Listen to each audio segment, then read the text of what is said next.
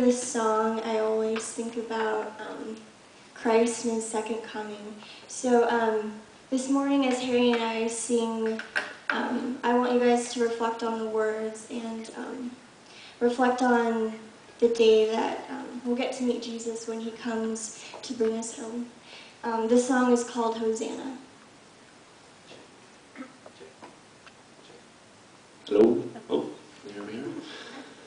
Okay.